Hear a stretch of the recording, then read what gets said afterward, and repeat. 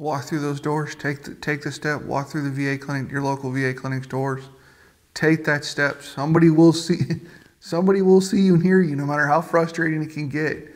There'll always be somebody that will hear and see you, even if it's another vet, a doctor, nurse, um, clerk, anybody.